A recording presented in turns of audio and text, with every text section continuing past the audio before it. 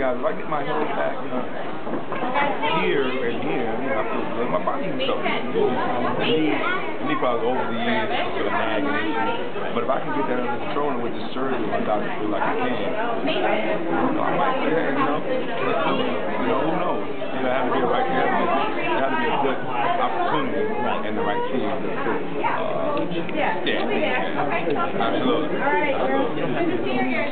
Right. Right. Right. Exactly. Exactly. Exactly. So we'll um so so we'll see. But in the meantime, I'll do with. And that's why I always that when I did my interviews. That's why I always did my interviews. So I did. You know, I did them seriously because I was just trying to learn. I was just trying to trying to let people see that I was serious. And I always listen to you guys. Uh, it off. It paid off. We always enjoy Friday. Right, right. We had some good ones. We have to do We had some really good ones. We did. We did. Thank you, man. Good seeing you. And thanks for everything that you Oh, said about me. Oh, are You you know, how we handle each other. So, That's right. That's my. Thank you. Thank you.